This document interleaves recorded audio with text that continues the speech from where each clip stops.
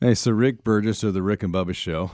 Thanks for uh, letting me be in your studio to interview you. It's sort of a reverse here. It is. Uh, you know, me sitting here talking to you in our studio, I feel like I should be going, "Hey, welcome to." right. Yeah, but you're you're the host today. I'm the guest.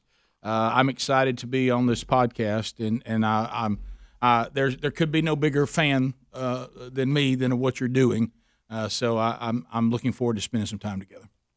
Now, so people who are not from the South, they may not realize that you're kind of a big deal. Well, my mom thinks so. Uh, well, no, the, the Rick and Bubba show is a radio show. So that's how it started. Uh, when I was a, a child, I can honestly say that God placed this desire to be in radio in me. You know, I'm, I'm not any help to young people that come to me and say, "Hey, Mr. Burgess, I can't figure out what I want to do with my life. Can you help me figure out?" I, I really can't, and and I, I feel so inept on that conversation because this has been a passion that, that God placed in my life. I, I really can only remember having three things I really cared about: American football, um, you know, hunting and fishing, and radio. And uh, you know, in the radio also, I, I have I have a love for music. I always have, but that kind of tied into the radio. And I did play in some bands and do some things like that. So I was just mesmerized with with radio hosts when I was a child. Uh, and growing up, uh, my mom says I got a tape recorder and I'd record fake shows and pretend like I was on the radio. So God, I just thank Him every day that He said, uh, "Let me teach you why I gave you this passion because I got it wrong for so long." uh, and it, it's a wonderful thing. So we're we're we're a radio show. We've been the Rick and Bubba show. I've been in radio for over thirty years, but the Rick and Bubba show has been uh, an item uh, that's available on radio stations and of course now on TuneIn apps and podcast archives, and you can watch us on YouTube and uh, live or archived, and all the different ways everybody gets content now. But at the heart, we're still a radio show, and we are a show where Seinfeld was a show about nothing. We are a show about anything. Uh, so we're not a sports show, but we talk about sports. We're not a political show, but we talk about politics. Uh, we're not a, a just a pure comedy show, even though we do quite a bit of comedy. And we're not what you would call a Christian. You know what I mean by that? That title, eh, Christian radio, Christian music. Uh, to me, these are just human beings talking about what means something to them. So, we you wouldn't really call us a Christian radio show because we're on all secular stations, but we are Christians who do radio. So when we talk on our show, everything we talk about, all those items I just mentioned, all come through the filter of a biblical world uh, worldview. Yeah, and you're pretty unabashed about your faith and your theology. Yeah, I mean, we we will get down and and deep and dive in, and uh, I believe when Jesus said that He was the way, the truth, and the life, and no one comes to the Father except through Him, I take that pretty serious. And and when He says, "Go out and make disciples and teach them all that I have commanded you," then that's what we should do. So yeah, we're not. Uh, it is not laid back. It's not that deal of, "Hey, you know what I mean." uh, or we, we talk we don't talk we don't say big man upstairs and so you know some of this garbage that that you usually find in a man that really doesn't know Christ, which is why he's saying that he, he's never encountered Yahweh when he calls him the big man upstairs. Uh, that's a you know why we do that because that makes him a folksy grandfather and much easier to sin against. You know, it's the people that kind of treat Jesus like he's a hippie, you know, this kind of stuff. No, we we talk about who God says He is. Okay, it, and not not trying to make him more palatable. No, we don't we don't do that. You, know, you said something key there because one of the things I'm, i get on a lot is that people um, they act like some of Jesus' words he was kidding. So right. you know, they like the ones about love and tolerance because it's this narcissistic. Well, he loves me and tolerates me, but we forget about the incredible demands he has. I mean, the old "if your eye causes you to lust, cut it out." That's right. a pretty big demand. No, it is, and and I, you're 100 percent right, uh, Ken. And that's the reason why Promise Keepers and and and the stuff that we're doing with men's ministry is so crucial. If you want to wonder, if you ever want to wonder why men's ministry is is frankly not very good at most churches, it's because they've tried to present a, a vision of God and, and of Christ, the Father, Son, and the Holy Spirit that isn't biblical. Hmm. And they think that what they're doing is trying to make him more palatable. When it comes to men, it actually turns men off. If they were told that Jesus said that that if you want to follow him, to deny yourself, pick up your cross, and then he goes to Matthew 7 and says the path you're going to be on is the gate's going to be narrow and the path's going to be hard, and most of you can't do it. See, the Marine, the Marines weren't the first one that came up with the few, the proud, the Marines. Jesus said the followers of Jesus would be the few, and they would be on the path that is hard, and most of people will not do it. And when he says things like, "I'll divide your family up," your your, your family may hate you, and are you willing to, if they hate you, to pick me over them? You know, these are these are difficult things, and I think Steve Farrar, who of course is on on your board, and I have a tremendous respect for him.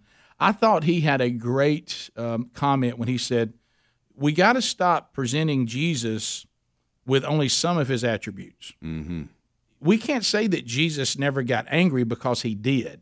We can't say that Jesus never said things that offended people because he did. He said the, the, the where we get in trouble is we don't know how to take these characteristics and hand them out perfectly. Jesus had all these attributes that a man has, but because he was 100% God and 100% man, in his perfection, he handed out righteous anger perfectly. He handed out meekness perfectly. He handed out telling the truth perfectly. So you don't have to take these things away from him. Just learn how to use them in the correct way. And I thought that was a, a great statement. Uh, is is he had he he had all these things? He just used them the correct way. By the way, Burgess's coffee is every bit as good as you said. I told was. you it was. Yeah, Uh, you were bragging about it. Yeah, Buzzbox Coffee is a, is a company uh, that uh, they they they make these in, incredible bags of coffee from places all over the world.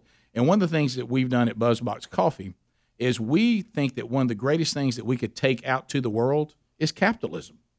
Mm-hmm. Ah, ah. but but but so what we do is we teach these these farmers, hey, if you want to bring this, we'll help you get it to market because you do need some help there. But we want you to make it top one percent Arabica grade, and we're going to teach you how to use this land that is so fertile for coffee to do it correctly to make it sustainable. Just just you know, not do it in a way that you're not trying to mass produce it where you can always have it. And we're going to show you how. And what's so cool in some of these parts of the country when we go back is when we when they're doing well with their their coffee farming, and then we'll come back and they'll have things like, "Hey, we're raising goats now. We think we can make money off that too. What do you think about that?" And so now they've caught. You know, if you want to raise the standard of living somewhere, teach them capitalism. Mm-hmm. And you know what we've done is the church too many times is we've told everybody sit where you are and wait for us to come back with goods again. You know, and there's Boy, nothing. right. And there's but there's nothing wrong with giving, but you need to be teaching them. You know how how can they they stand on their own? And then you see that father standing there with his family, with his coffee farm or his goats or whatever, and he's thinking, you know, I'm making my own way. So. Buzzbox Coffee, you can go to rickandbubba.com and uh, look under our sponsors link, and you'll see Buzzbox Coffee. And every time you drink Buzzbox Coffee, 10%, which we'll talk about today, this name may not mean much to you now, but it will by the time we're done, goes to something called the Bronner Burgess Memorial Fund, and that's in the name of our youngest son. And then we hand out these grants to evangelical ministries all over the world. And uh, so it's just a way we believe nothing wrong with donations. I'm for them; they're great. But what we want to do is kind of we're more like the Apostle Paul. We're going to make tents, and we're gonna we're gonna provide our own way. So and we do that with products and, and stuff. So this is a good one. So I'm glad you're enjoying it. Ethiopian Reserve is what you're drinking right now. Should- I mean, that was a long commercial. That It was. I mean, did I? Do I get paid? Well, I guess I guess you bought me breakfast. I did, and that, and so in return for breakfast, I get to do an ad on your podcast. Yeah, apparently. Well, see, if you didn't like it, then I'd move on. and Go, I don't know where it came from. Yeah, it's funny. Uh, I, I was just getting a lesson from Phil Robertson, our mutual friend, yesterday. Yeah. I was out in West Monroe, and he was touring me all over his his duck hunting property, and he said, "You know, I ain't no environmentalist," which wasn't a shock to me. No, But he said he was giving me a lesson about how he managed all the floodplains and the, the, the I guess that river like floods like 30 feet. Correct. And then comes in and he was showing me how he has the pipes to drain it so that the trees can grow better. He said, I do all this so I can kill ducks. You know, and he's Exactly. got his thing. God put millions of pounds of protein flying down, you know, to, to come down here. But um, duck hunting season is 60 days long. And he says, so for 60 days of me hunting, I have made this 1,600 acres of pristine land, perfect with rice and all the millet or whatever else that they eat, so that these ducks are healthier, well fed, they breed better. I made perfect breeding grounds for them. So I'm, I'm augmenting the duck population, and it's all, doing that great. Not because I'm some bleeding heart environmentalist, but because I want to hunt them. But this is how everything works together in, in one way. Yeah, we- it's a we- healthy way. Yeah, we right like right now on your way to the airport, you'll have to dodge American white-tailed deer, and the reason why you'll have to do that is because the, where I live, we love to deer hunt, so we create an environment where deer thrive, and we take very few of them. To your point, but we fill up our freezers, and but the deer overall are now more populated in Alabama than ever. Uh, the herds are healthier than ever. The environment is healthier than ever. We're not developing all these natural forest land and all this natural farmland because we want deer to have a place to live because we enjoy hunting them, which leads to this. If you really love an animal, then you should eat it. There's some truth to that. There is some truth to that. And I am all for eating the animal in a restaurant. I am too. I, uh, you know, the idea of shooting it and cleaning it and hauling it out. And, Yeah. I mean, you know, I live in Colorado, as you know, and uh, somebody was just telling me about bagging a, an elk and how he Oh, climbed the goodness. mountain and he's at 12,000 feet elevation and he sees the elk 400 yards away in a canyon and he shoots it. And now he's got to take an elk Yep. up a canyon and down Correct. and pack. I'm like, that doesn't sound like fun to me. They have restaurants for that sort of thing. It comes with nice little huck- huckleberry sauce and a Yeah. side of potatoes. And, and it's fantastic. But I'm not as hardcore as that. I will shoot an American white-tailed deer probably this coming weekend uh, because our, our rifle season is about to open. I will put it into the back of my truck, drive it to the deer processor, who will then process the deer, and we'll fill up the we'll fill up the freezer with that. So I'm not as hardcore, but but I do enjoy it though. And the and the meat is fantastic. And back to some of the bleeding hearts out there, whatever meat that we don't need, we donate to a food bank, and we feed the poorest people in Alabama. Uh, they have delicious meat that we've all hunted. so you had started a segue earlier. You've got a foundation for your son. Correct. Start the story with what we were talking about earlier with, you know, raised middle class ish. Yeah. uh, finally start to get some money and then and take us from there because what I want people to get out of this is where God shows up in immense tragedy, how you dealt with this immense tragedy, and how your marriage survived what destroys almost all marriages. Yeah, so it, the the story is this: my my wife and I. I'll, I'll give you the long story since it's podcast. Um, uh, unlike being on the show, you have to do it in little five ten minute segments. But my wife, The only I- commercials that we have are the ones you keep. that's right. Sorry about that. And, and there's more to come. No, I'm just kidding. So in in 1996, uh, my wife and I were married. Uh, both of us had come to uh, the marriage altar, uh, the, you know, completely redeemed and reconciled to a holy God through the redemption found only in Christ. But when we when we went through our marriage counseling, both of us were cultural Christians. Which, by the way, that's just a nice way to say lost.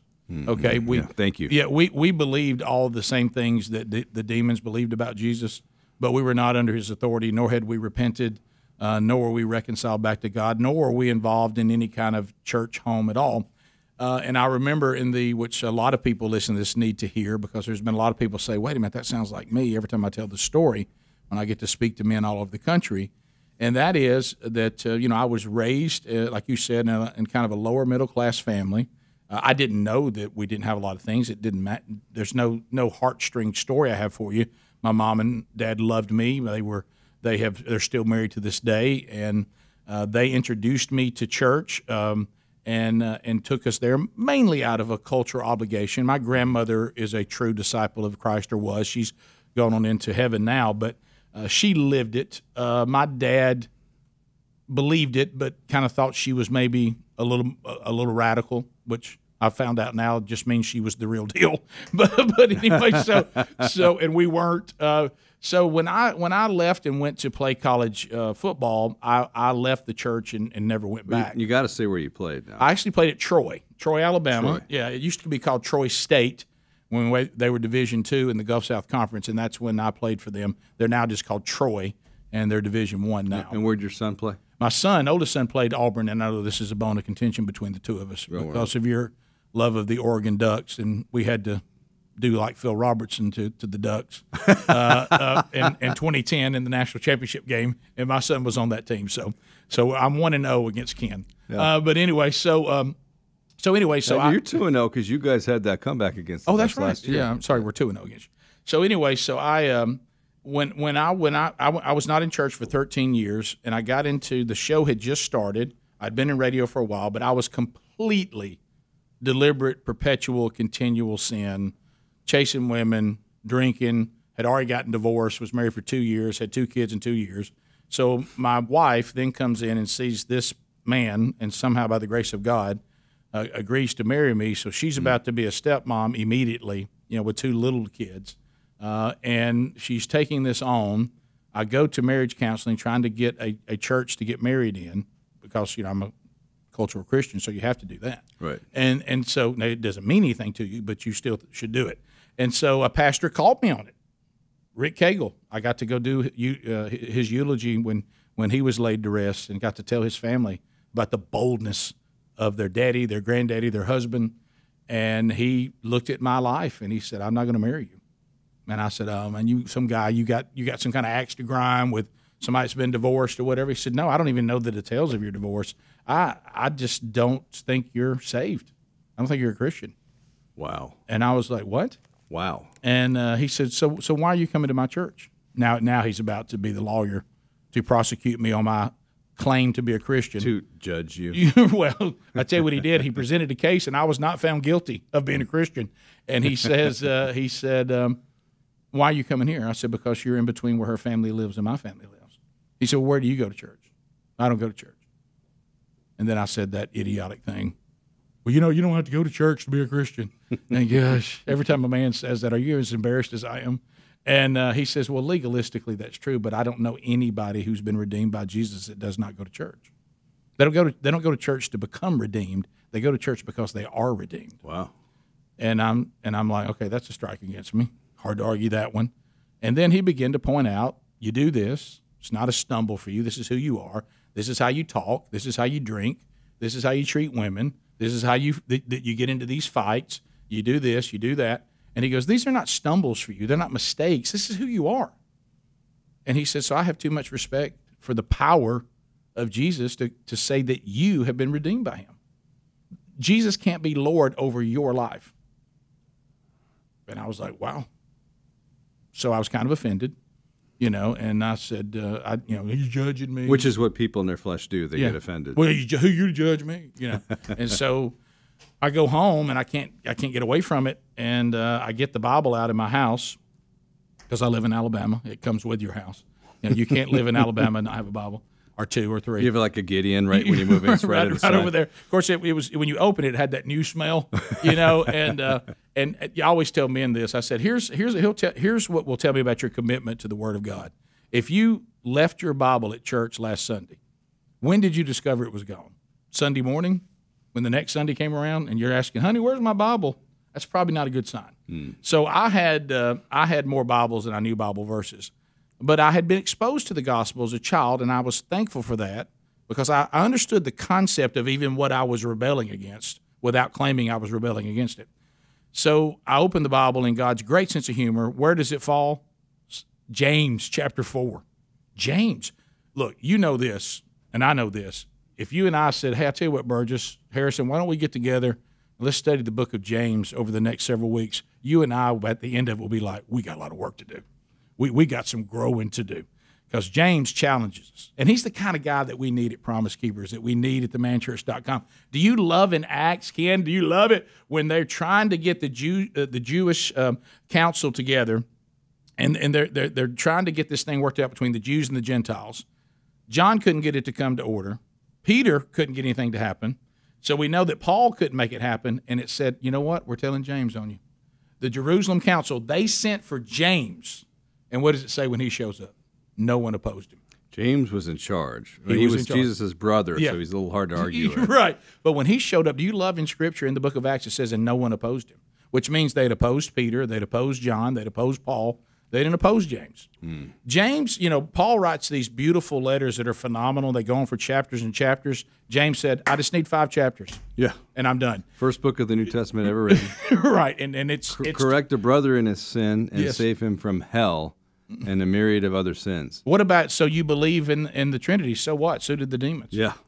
you know, and they shudder at the sound. Count it all joy, my brothers, when you suffer various right. trials. So it's not a fun book. No. And uh, and don't forget, he's talking to a church during all this. So so he says to me that day, God through James, submit yourself then to God, resist the devil, and he'll flee from you. Come near to God, and he'll come near to you. Well, I'm a man, so I thought, wait a minute submit, come near, resist, submit, resist, come near. That's action, action, action. Now I'm, talking, I'm not talking about earning salvation. I'm talking about repentance. And I realized I'd never done that. I'm not under the authority of God. I'm under my own authority. And like the pastor had said, and your life looks like, like it. So that day in my little bachelor pad with that uh, that nasty carpet, I remember just saying, "I do submit to you," because I was raised by authoritative father, so I understood authority, and I understood I wasn't under God's authority, and I submitted to His authority. I repented of my sin. I told the devil that I was done with him, and I started moving toward God, and then he just rushed to me like the mm. prodigal, and he started the process of radically changing me that continues as you and I are talking now. So when we Sherry and I got married, I love when my wife said this. She said the day that we got married, which is going to help you with this this big question we're going to talk about. She said that was the first time in my entire life that I knew that I was exactly where I was supposed to be. That's awesome. What a testament from a wife to a husband. She said I'd never felt that way my whole life.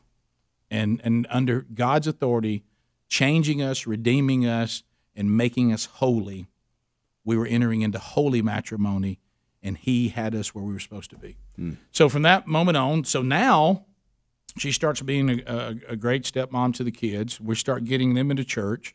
Uh, then she gives birth to the first biological child, uh, who is uh, now 21 years old. And I, this is preparing us for what was coming because I remember this. And it's important for me to include this. She had this perfect pregnancy, and we had been married for three years. Perfect pres- pregnancy. And on the night that he was to be born, we got there, and she wasn't very far along. And so the, everybody's going, You're going to be here laboring for hours. Tell your family to take showers, do this. I'm telling my mom and dad, go get the go get our other two kids, get up here. Y'all take your time. We're barely starting. You know, she had not progressed very much, but she was in labor enough now, and the water had broke. She we couldn't go back home. We were going to be there. So they decide they're going to try to speed up the labor pains with Pitocin. So they come in. It's just the two of us. We're the only two there. And they give her Pitocin. And I see my wife grab her stomach, and she has what should not have been an excruciating labor pain, which should not be happening yet. We're not far enough along. And I see the nurse look over at all the stuff that's you know coming out on the baby and all these different graphs they have, and they start looking at these rolls of paper, and she's hollering, ah, and she's just screaming. And they looked at, and I could tell by the look on their face that it wasn't good. And they said, we're going to have to go get the baby. We're going to have to do an emergency C-section. We think that the, there's been an abruption, and the baby's cut off now from oxygen, and your wife's likely bleeding eternally, internally. So we have to do emergency surgery. And my wife's like, this, you know, it's not what she wanted. You know, she had all mm-hmm. these visions of how it was going to go. Well, now they're putting her to sleep, you know, because there's no time for epidurals or anything like that. And I'm just standing there. I'll never forget this, Ken. I'm standing there out in the hall. I'm kind of confused, and doctors are running, and everybody's running. None of the families got there yet.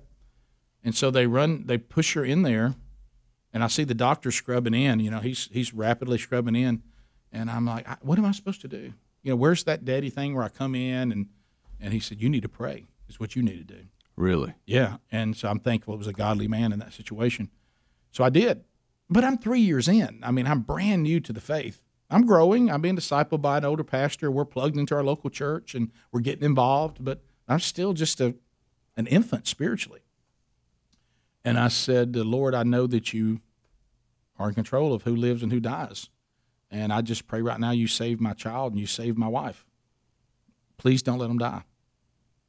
And and so I look and they're, they're in there and I see the doctor and all of a sudden the doctor looks around and he pulls this wonderful baby boy out of my wife's body and he points to the baby and he gives me a thumbs up. He's okay. And so then he points to my wife and he says, give me a thumbs up. She's going to be all right. Oh, wow. And so I begin to, and then they said, hey, let's clean the baby up. We're going to do the APGAR score, be sure there's no problems, and we'll give him to you. There's no family there yet. They all know the problem. They're, they're getting, trying to get there now. And I remember walking out into that hall, waiting on them to hand me the baby, and they're, you know, sewing my wife up and all this. And I just said, Lord, thank you so much. Just thank you for saving my baby, and thank you for saving my wife. And I remember thinking, this this Christian thing is really awesome. and all of a sudden, you know, all these sins I committed have been forgiven. All these relationships I've damaged are working out. I've been, I got a great wife. The show's, you know, just growing. I'm making money like I've never made before. I'm like, man, this, this is fantastic. And I heard so clearly in my spirit, Ken, well, what if they died? Would I be any less great? And I thought, why, why am I thinking that right now? I think, well, I guess God's, and I thought, well, that's a good lesson. I can't wait to tell people, hey, and guess what I thought about? see, it's okay to say that when it hadn't happened. Mm-hmm. But see, what I didn't know is God was prompting me, we're going to keep working, but there's another day coming. So you need to start thinking about if I'm God in all things or just some things. And am I great in all things or just great in some things? Now, I didn't understand that at the time. At the time, I just thought, okay, that's a good word. And so the baby is fine. Sherry is fine. We're going to have another son, perfectly healthy, no problem. Then we have another son, perfectly healthy, no problem.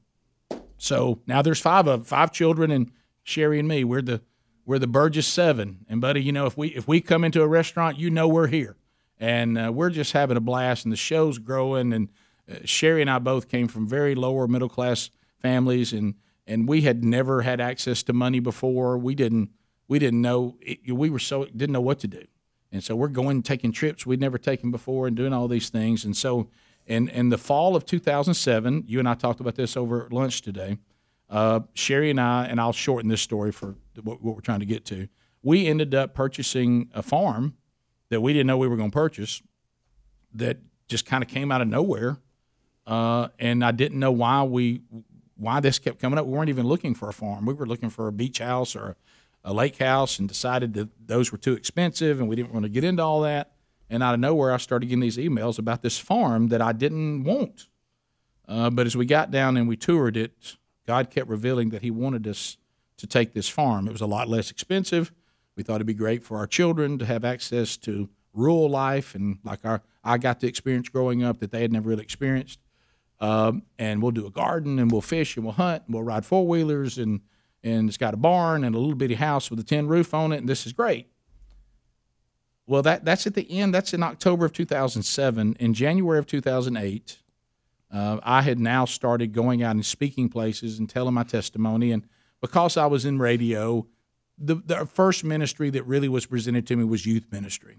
Uh, you know, hey, you're the guy that's in entertainment who's being a Christian while being an entertainer, and you know, so a lot of youth conferences want you to come and give your testimony. And and I was still, you know, now I'm now I'm, you know, I've been a, a follower of Christ, um, uh, you know, for 12 years now, at this point, because uh, it's 2008, and um, so I'm, you know, learning. I'm further down the road, and I remember I was preaching, and the verse that I used at the end of every session when I left in, in January of 2008 to go speak and left my wife and children behind at the house.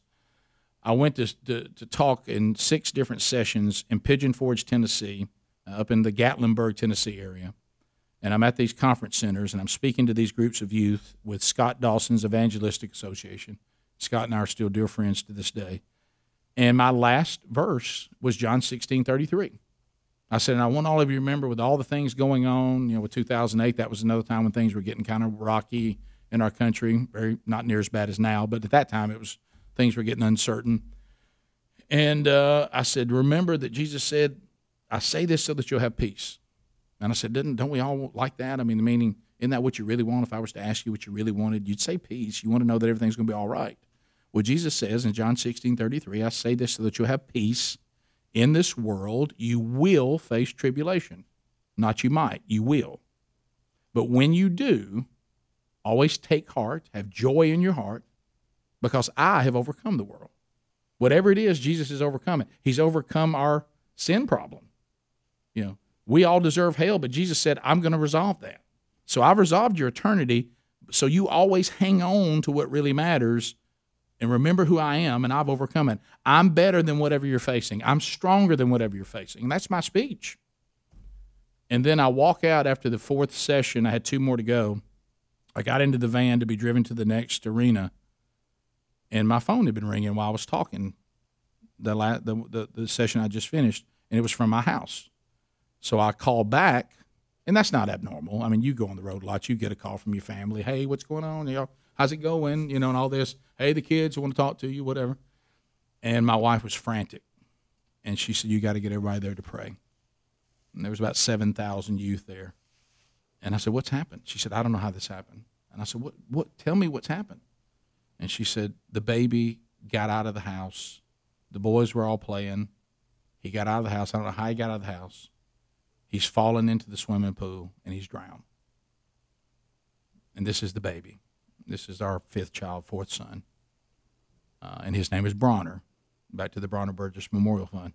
I remember Sherry wanted to name him. She was, You named all of them. Let me name this one. And all of our kids, we didn't know they had B names until we got down to the fourth one. So now you can't change your B theme, you know, because now that kid feels weird.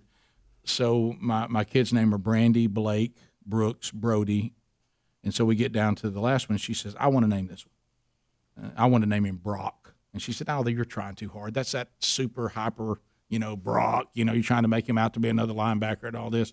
And I said, Well, maybe. And she said, I don't know. I just like this name Bronner. And I said, That's somebody's last name. I don't, that's not even a first name, honey.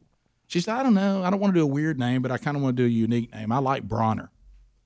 I said, Okay. You know, well, now, you know, again, there's God again. He has a unique name that you may not forget. And so she said, You got to get everybody to pray. He's drowned there. And now the EMTs are trying to revive him. And I'm and think about, you know, mm-hmm. you know, you know how it is when your wife's having trouble and you're on the road and you can't just be there. There's distance between you. I mean, you you're not going to get to them in the snap of your finger. Even if you come up with this great plan to get to them, there's distance. And so immediately people started in. I had driven there, which is about a four and a half hour, five hour drive from where I lived. And so people immediately says, "We got to get you on a plane. We got to get you back quicker," which I was I agreed. Go ahead. You don't have to speak these last two sessions. We'll get out and tell these kids what happened. We'll get them praying for you. So now you're on. You're trying to get back. And I had a friend that said, "Get in the car. I'll take you back to the hotel. Get your stuff, and I'll get you to the airport. They're sending a plane for you." I found out later all the different people that were moving around trying to get a plane to me, which I was so grateful for. Mm.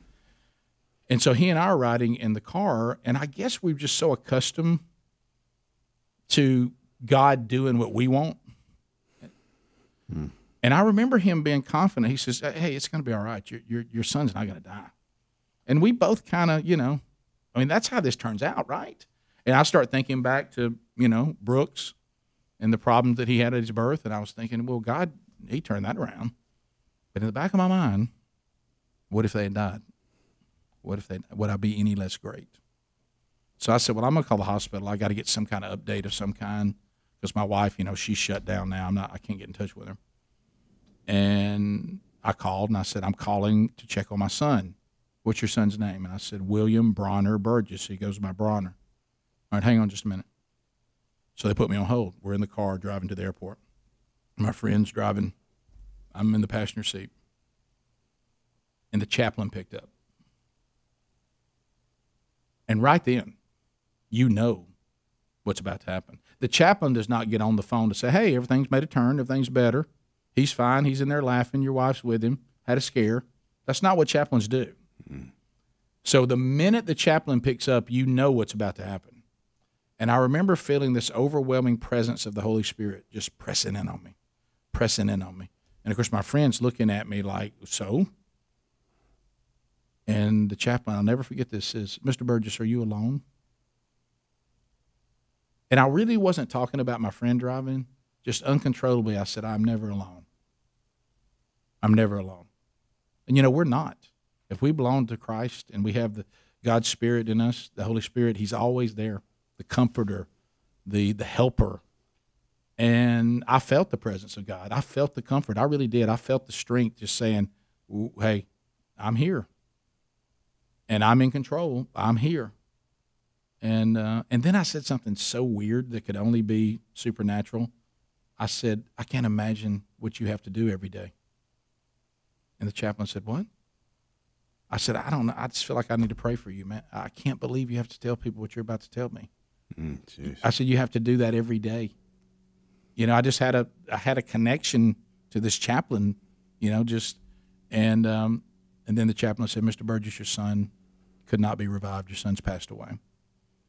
And I said, well, Where is my wife? And the chaplain said, there's people with her. And I said, you tell her that I'm coming to her right now. I will be there. So then became the pro- came the process of walking to that plane and getting on that plane. And I remember looking out the window, and it was so weird because the moon was there where it was supposed to be. And you know, you think the whole world's come apart because your world has.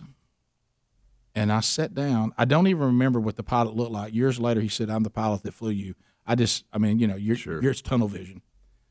And I said to God, because of that this relationship that we're given with Him through Jesus, I said, Father, what are you doing? I don't. What is this?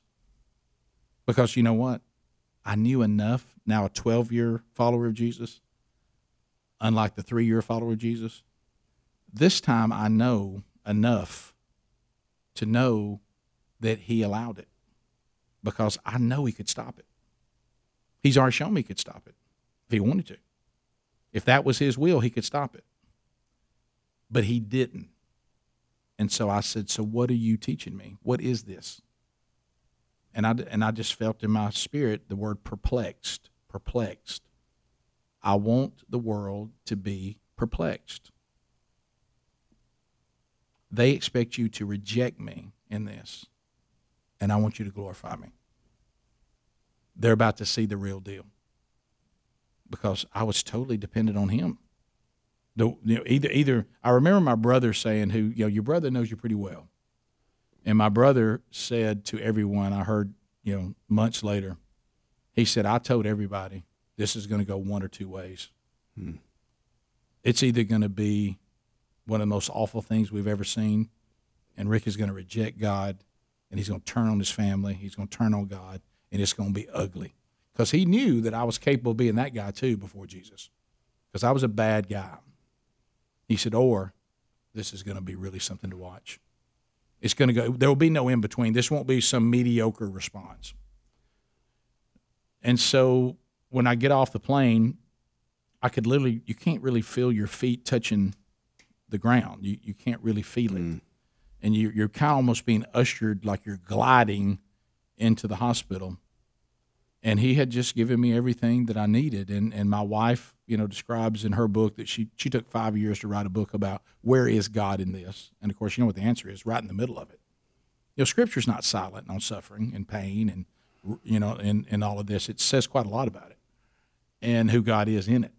And so at this time though, we you know she's just grasping for answers, and she said I was I was there and and and I was praying for my child to be revived and she said and, and they're trying to revive him and i can she said i can remember these audible words coming out of my mouth that i couldn't pray.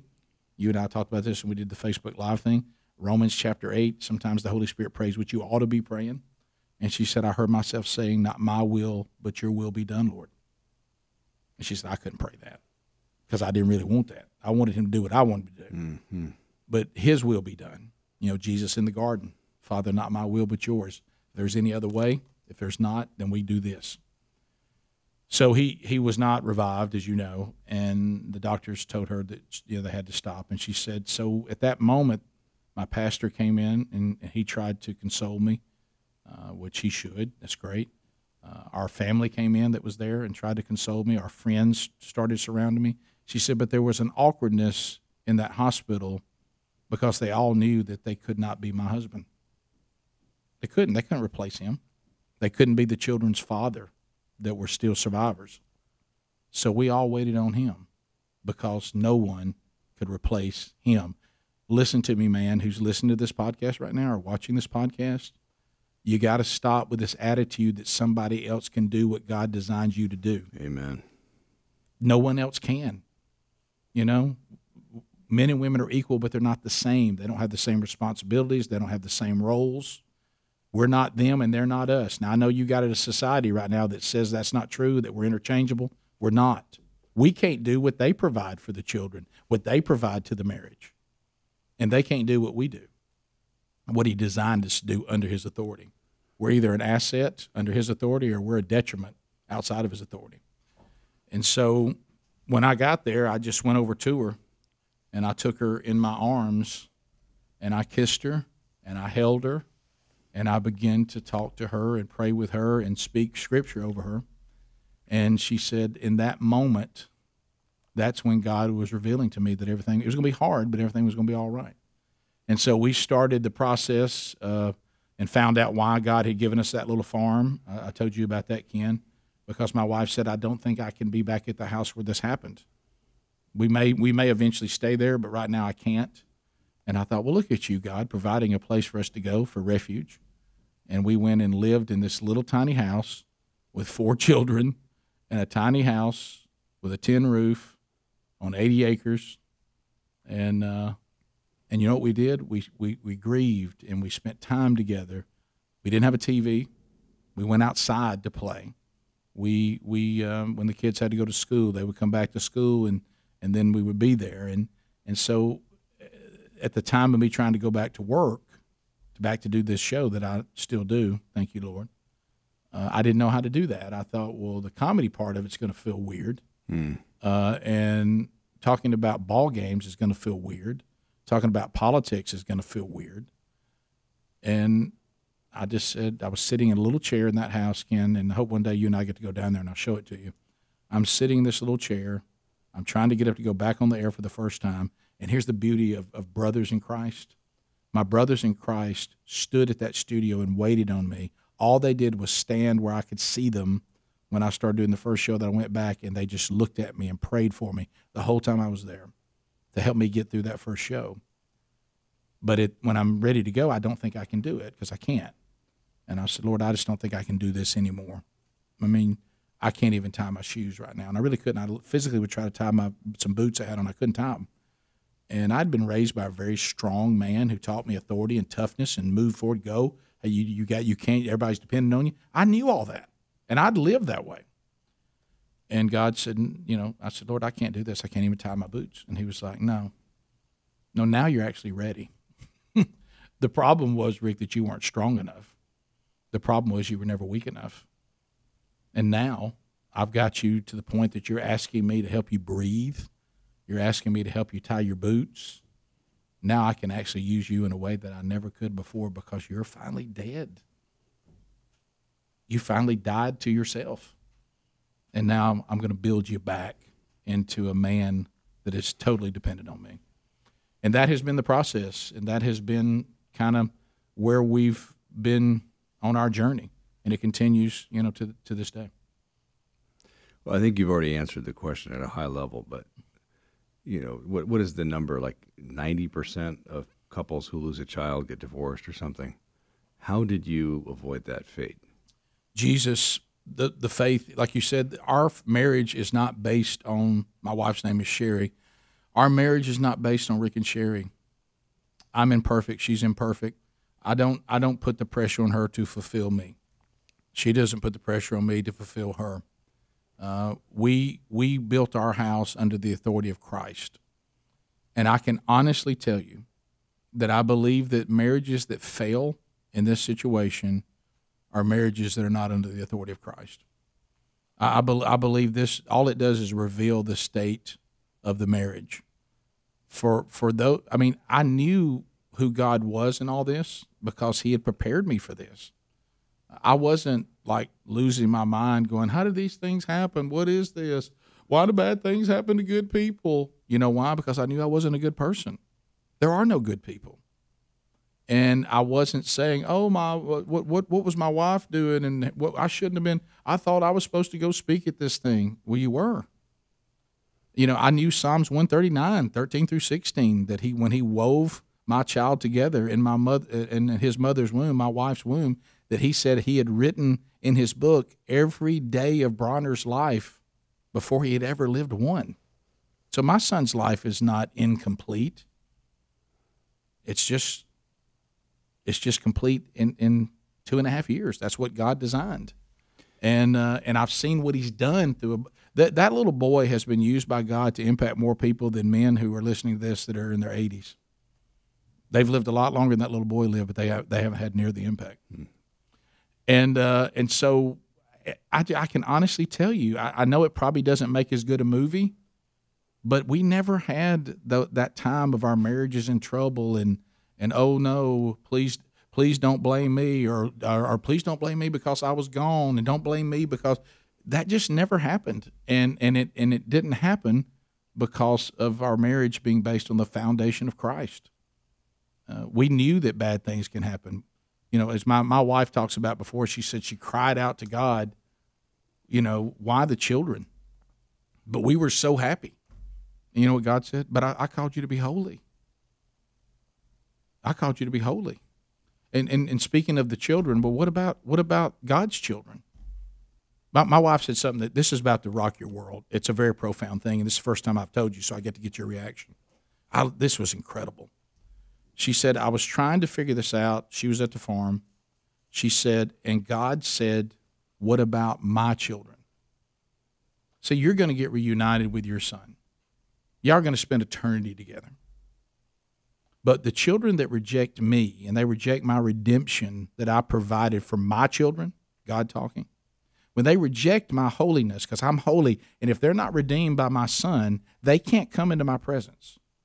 And I lose my children every day that will be forever out of my presence. Hmm. And you know what Sherry said? Listen to this statement. This is going to blow your mind. And she said, For the first time, I had compassion for God. My, my, my poor, poor, pitiful me shifted, and I felt compassion for God. How hurtful that must be for Him to watch His children reject Him and forever be out of His presence, never to return. So if I have to go through suffering, but yet it will save more of God's children, and if one person is redeemed, this is my wife. If one person, she said this on Fox News, and I thought the, I thought the whole I thought I thought the Fox team was going to just completely melt. You ought to have seen their faces. She said, if one person is redeemed because of the earthly death of my son, then it was worth it. Wow. Wow. Then so be it.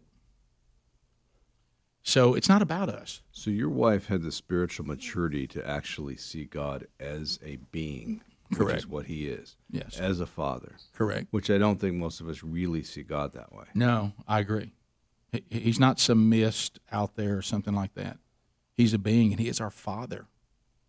And and and you know what? We are His children, and He provided redemption, and sometimes His children just reject it you had a foundation built up, and I, I talk to men about this all the time.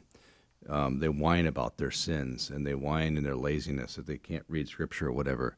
Mm. When the crap hits the fan, mm. this is a, an adult or you know PG show, so this is it's the crap that hits the fan. right. When the crap hits the fan, who you are at that moment is what comes out.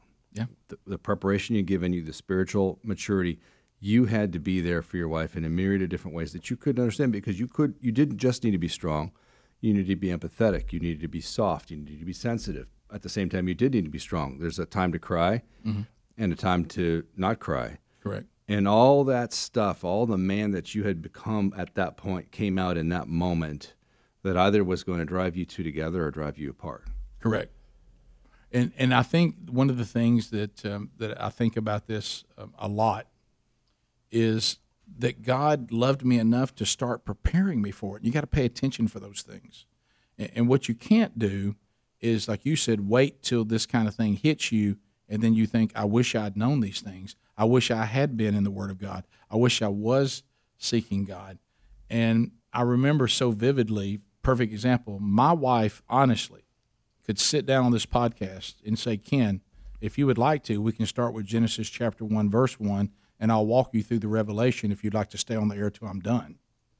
Uh, and she could do it, but can we skip Leviticus? I right, I know. Yeah, and she really bogs down in that. But let me say this.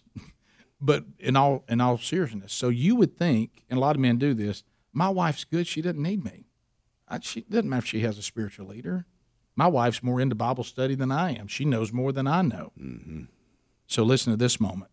So I come home from work one day. This is maybe month, maybe week eight, somewhere in there. And because I'm a man, I'm trying to do that thing of now we got. I'm, i got to see how this is all working out. And my therapy was what working, was speaking, was going like an idiot. I went on a book tour way too soon. This was a book that we already had going from Rick and Bubba. Should not have left her that that soon. I, I was just thinking if I the more now I got to get out there and do these interviews and do this, do this. And so I come home. She's in the kitchen. She's laying in the floor. She's sobbing.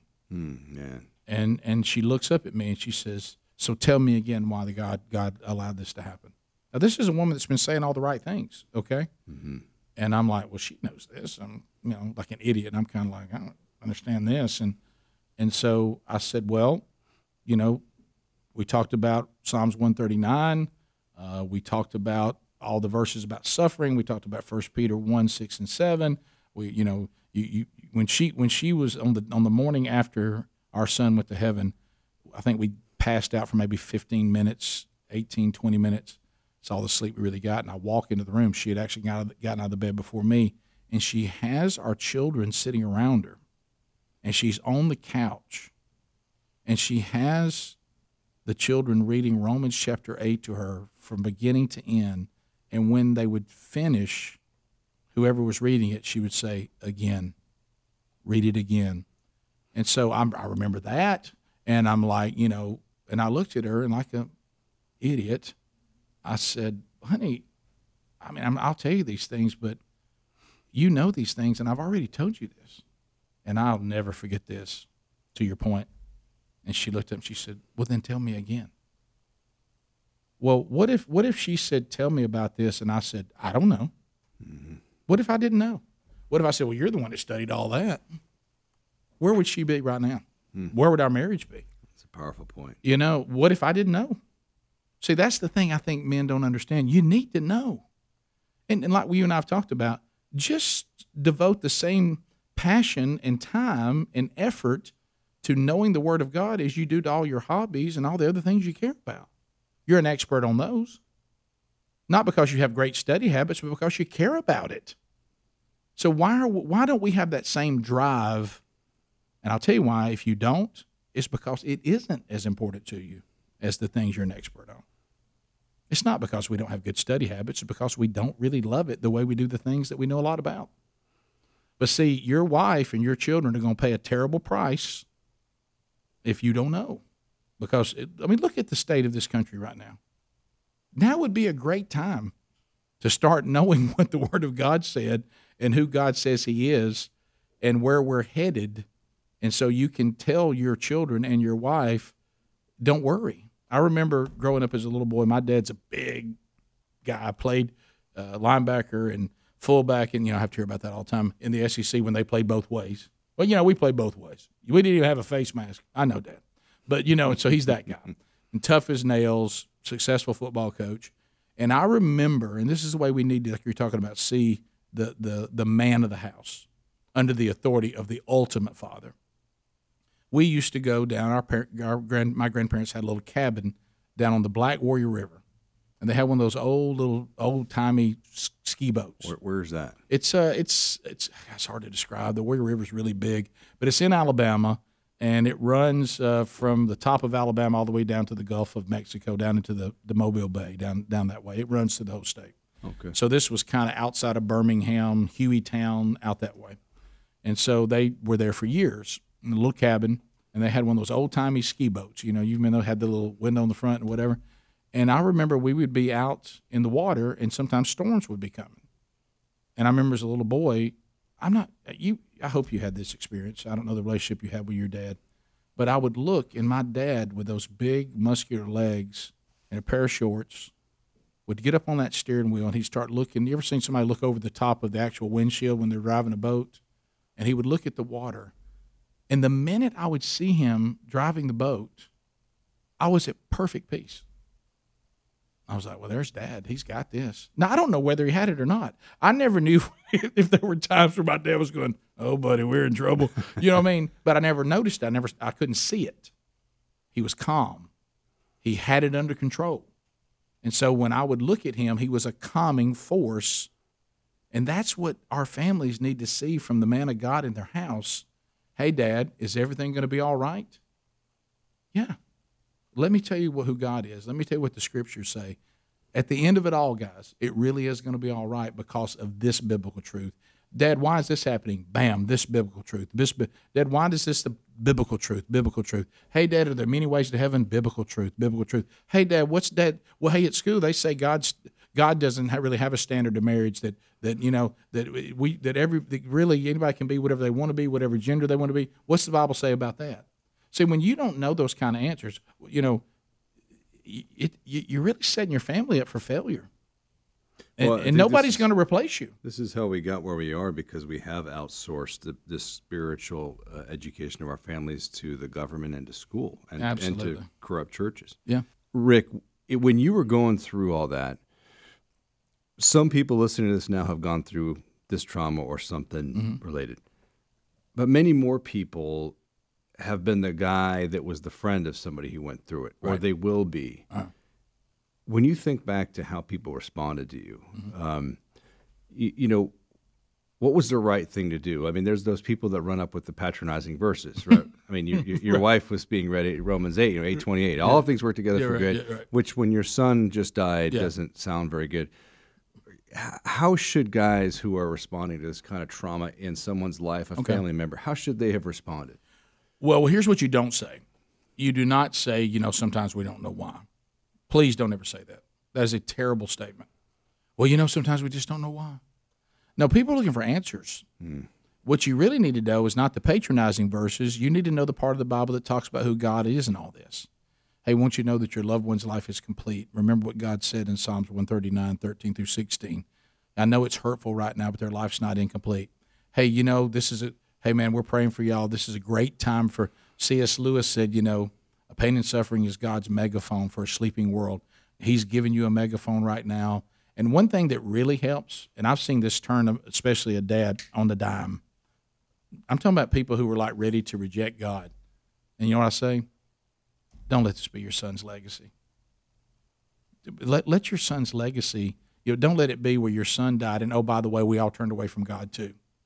You know, mm-hmm. your son would be, it, it's going, don't let that be my legacy, that my death ruined my family and turned my family from God. Because your son is in heaven. Yeah, He right. wants to see his family. Right. And so don't let that happen. Like Sherry talks about very, very straightforward. We started out thinking about being heaven focused because our son was there.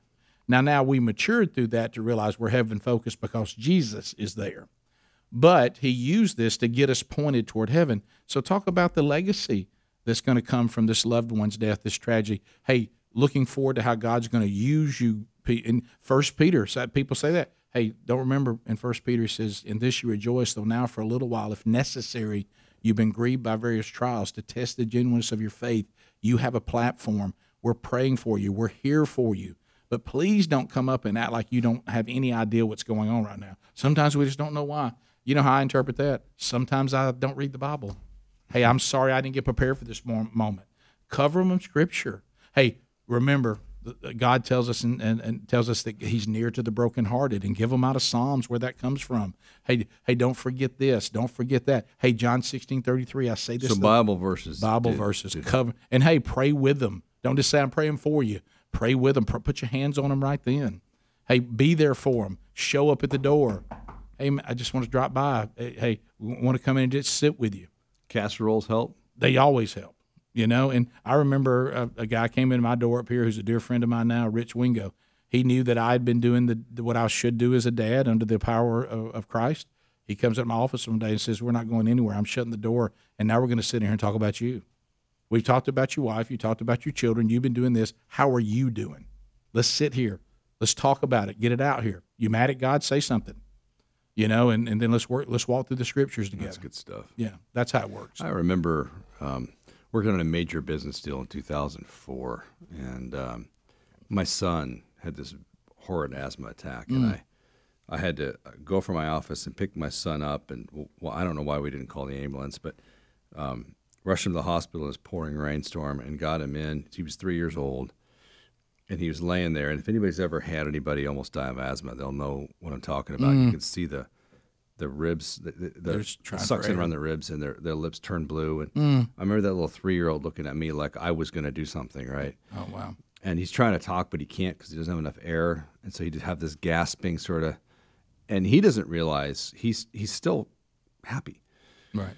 And they're trying to get an IV in him, and they can't. Blood squirting all over the place Oh, from the my- IV, and I, I remember that feeling of utter hopelessness, and I remember that feeling of um, that huge business deal that I was working on. I could just care less. I mean, what was so important to me an hour ago means nothing. So Lord, take my business, take my house. I'll live in a tent. Yeah. Just give me back my boy. Amen. And I remember them coming in saying, "We can't handle your son. We've got to have to take an ambulance him to Children's because his oxygen is so low." And we rode in the ambulance down there, and my son's eyes were rolling back in his Oh head. Oh my goodness.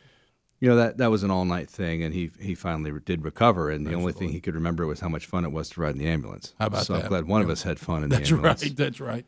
But it, but it is moments like that. You know, Mm-hmm. why did I get to keep my son, and now he's you know outgrown asthma, and he doesn't even remember what it was like anymore. Yeah. But but we just don't know, and God in His grace and His love always has our best in in mind. But there's stuff going on that is beyond us. There is a Right. plan, and as you said, every one of us has a mission when we're born. Uh, people hear me all the time quote Ephesians 2:10, "For we're God's workmanship, created in Christ Jesus for good works that were prepared beforehand that we should walk in them." Amen. Every one of us has a plan, and your boy had a plan. No question. And that two and a half year old boy reached all these people. Unfortunately, there was also great pain for people involved Yeah. in that blessing to other people. As Christ said, sometimes a seed has to fall to the ground and die so that something can grow up. Exactly. Yeah, and and we've seen that over and God will just confirm it. There'll be days that I'll be like thinking, okay, I'm kind of drifting in despair a little bit because it never really goes away from you. And all of a sudden, boom, an email will come in. Want you to know I watched your eulogy on YouTube. Want you to know that hey, this happened. Know that your son's life was used by God to to give us what we needed. And and also you're like, there it is again. He just continues to confirm and affirm over. He always gives you that little bit of something when you need it, and uh, and a lot of this has to do with there's a freedom in it. Do you really think? Honestly, look at me. Do you think I'm afraid of COVID? what are you going to do to me now? Uh, I've buried a, a two and a half year old little boy. What else would you like to bring after me? I'm free. What are you going to do to me? You know, you kill me, like Paul said, to live as Christ, to die as gain. So what? You know, I want I want my life to count for the kingdom of God. I want to disciple my my, my wife, disciple my my children, and go out and make disciples and disciple men. Because, like you and I've been saying, if if you disciple men, you change everything. Yeah, and we need the men to be in the proper place under the authority of Christ. Rick, what about the guys that have screwed up? What about the guys that went through trauma and hmm. screamed at their wife, divorced their wife? Hmm. what about the guys that drove their kids away and they're gone and they don't know what to do? Well, you, you know what? It's never over as long as you're on this side of the dirt, right? I mean, it, it, it's never over. There's always hope. So why don't you say, instead of saying, because well, here's what Satan wants you to know. He does he does it to me because I lived as such a wretched man before redemption, and I made a lot of mistakes. And you know, I'll be sitting here just like when you start talking to me about promise keepers. Here he comes. You know, here comes the accuser. Promise keepers. You, they don't want you look at the kind of man you used to be. You're, you, I, I mean, and he tries to bring up all the things you did And wrong. sometimes he uses people. There's there's people that are really Oh. well, willing to spread his message Look, for him. There's plenty of people that, that still wish that I was the person I was before Jesus because it made them feel better about themselves. Uh, not everybody's happy for you when you start, you know, raising the standard a little bit of what it looks like to follow Christ. They'd rather you kind of stay mediocre so they don't feel challenged by it. But mm-hmm. you don't let that bother you. But back to that man. The adversary wants to tell you that you've blown it. There's no way to repair it. It's over. Nothing you can do. That's absolutely wrong. Have you looked through Scripture at the men that have done the most horrific things that God redeemed and used them to make an impact for His kingdom? Does that mean every relationship you damage will be repaired? There's no guarantee of that. But I tell you what, it does mean you can get you can repent of your sin, you can be forgiven, you can be redeemed, and you can be made new in Christ, and He can use you to advance His kingdom. And it may or may not be restored back to you on this side of heaven. But the bottom line is, you can be a follower of Jesus, and you can do the right thing before you're dead. Some of the, some of the most powerful men I've seen and I know of one who didn't even become a follower of Jesus till he was 73 years old. And the last five to six years of his life, he was an absolute warrior for the kingdom. So you're you're not done yet. Don't, This is not your legacy. This isn't how it has to end. Okay. Not everybody does every. There's a lot of things that if I would have been redeemed sooner, I would have done differently. Okay. Uh, I, I, I abused God's standard of marriage before I entered into the holy matrimony He intended. I wish that had not happened. I can't go back and change that in my history, but now my wife and I go forward say, no, this is God's standard for marriage, whether I always adhere to it or not. This is not talking about perfection. Nobody listening to this or watching this is perfect, nor have you ever been, but it is about progress. It is about a new life. It is about a new birth. I'm not remotely like the man I once was. Does that mean that man never existed? Does that mean all those relationships from that that that man wrecked were all redeemed? No. There's some people to this day that still won't have anything to do to do with me. I understand. But you know what? That's not what it's about. I just have to be right with God and be used where he can use me. So it's not over. Right now, repent and be redeemed and and finish well. Finish well. It's not over. What about the guy who's not saved? How, how does Hmm. someone come to know Christ? It's real simple, but but not simple. Simple and not simple because you got to deny self, and you got to repent. We've lost this in the Western Church. When's the last time you Cheap heard, grace. when, when's the last time you heard somebody preach repentance? Hmm. Well, I, hear grace all the time. Yeah, well, but but that grace doesn't come without repentance. Mm-hmm. I love this one too. Hey, God loves you right where you are. No, He doesn't. who, who told you that? Have you ever read Psalms five? He said He hates the people who don't repent. Isaiah, I cover my ears so I don't Right. have to hear your prayers because Right, you're so yeah, wicked. yeah. That doesn't sound no, like he no. What God. He loves you enough to to remove you from where you are, mm-hmm. and He and, and He and He will love you where you are, but He's not going to leave you there. You got to repent. What did Jesus do? What did John the Baptist said? Hey, repent! The kingdom of God's at hand. Here it is. He's here. And then what did Jesus start saying? Repent or die. You know, so he calls you to repentance. So that's the first. What is repentance? Repentance means like you are facing in one direction and Jesus is in the other direction. Your back is to Jesus and your face is to your sin. And you say, I will now turn a 180 from my sin and I will turn to Jesus and I will submit to his authority and I will confess that he is Lord. Jesus Christ is Lord. I want under your authority, Jesus, and I repent of my sin. I believe you alone can forgive me. I have a I have a contrite and humble heart. I am truly sincere. I want to be forgiven. I ask you to forgive me. I repent of my sin. I submit to your lordship. I confess publicly, either through a baptism or some way, that you now belong to Jesus. And then, if, if you're sincere, it says that he he will acknowledge that and he will save you. Eh, but then at that point, now you're just all you are now is a drunk or an idiot that just that, was just redeemed. You know, the process of now changing sanctification, discipleship now starts. Too many people take that one step, then they don't move, and a lot of times they they they- you see no impact or no change in that life.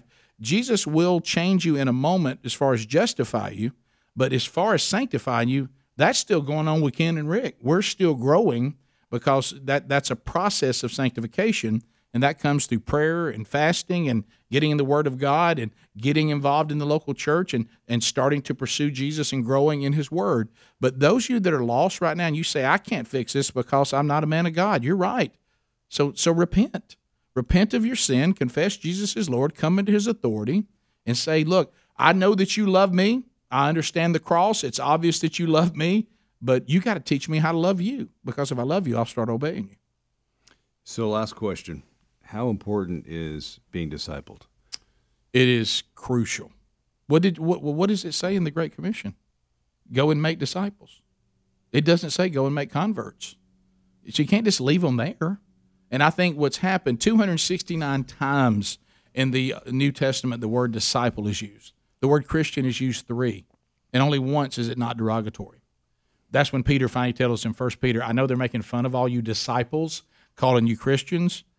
D- don't wear it as a badge of honor now. See, we messed up because in the New Testament, everybody that was called a Christian, Ken, was a disciple. Mm-hmm. What we've done in the Western church is we go out and try to make Christians who were never disciples. We try to get converts, and then we just leave them. And, and then they're devoured by the enemy. I'm not saying the enemy can take away their, their salvation. That's not for me to say, but he certainly doesn't. They, they have no impact. They don't go make disciples because they never became one.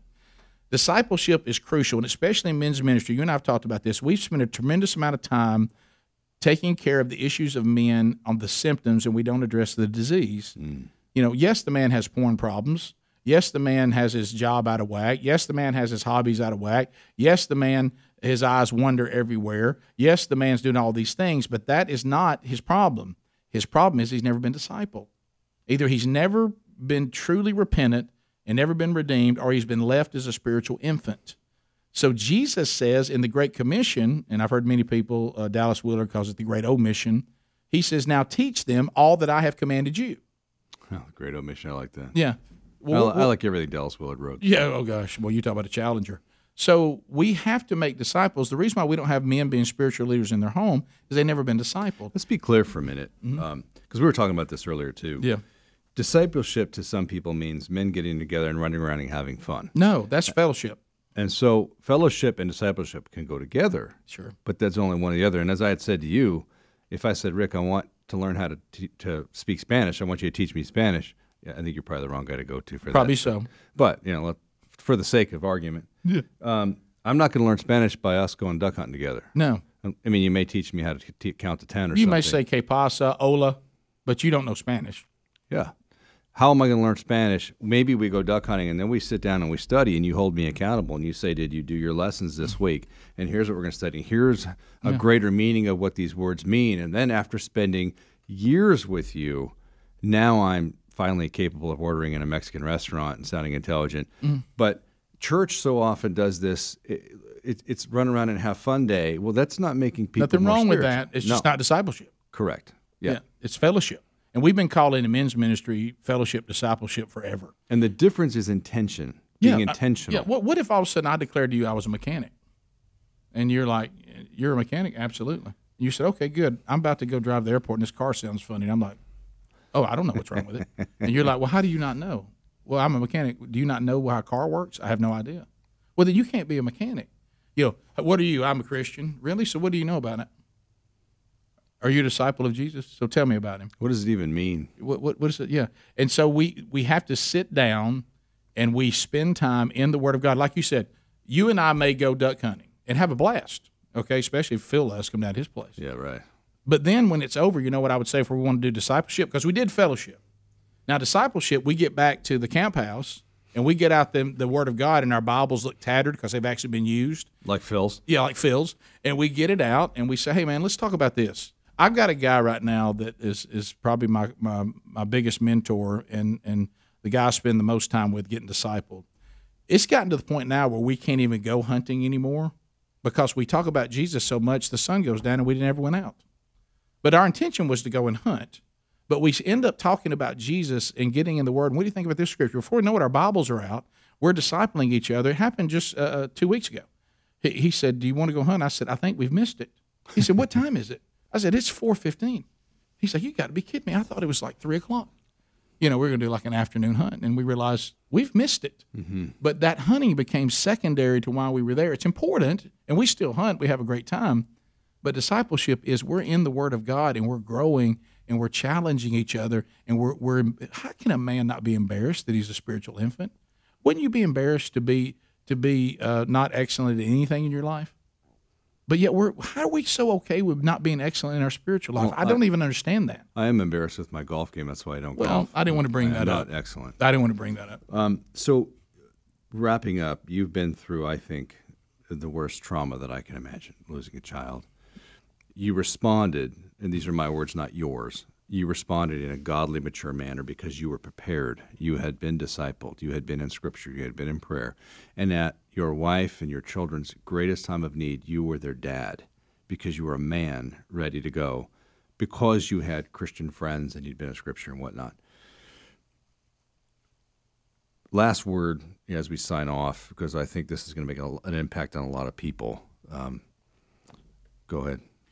If there's anybody that is a spiritual leader for your wife and for your children, if you're a married man, listen to this, or if you're a single man and you, you intend on that happening sometime in your life, if anybody else takes on that role, then they have become a better husband and father than you are.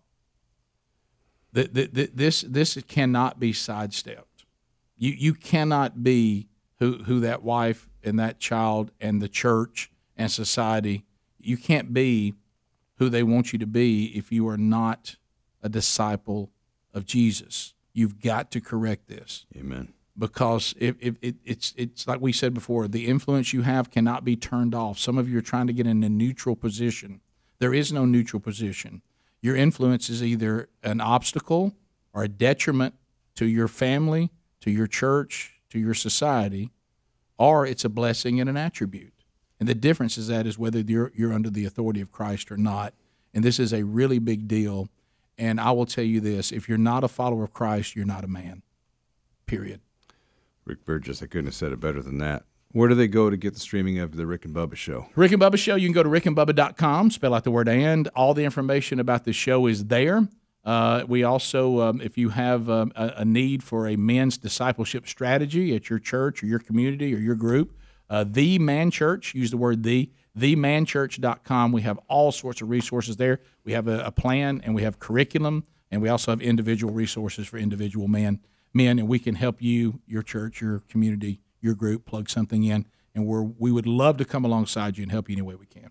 I hope the pastors are hearing that. Intentional discipleship from the Man Church uh, stuff. It's good stuff. Thank you, man. I appreciate that, and thank you for this. I'm excited for Promise Keepers to be back, and let's lock arms and, and let's let's move this thing forward. Yeah, man. All right. Thanks, man.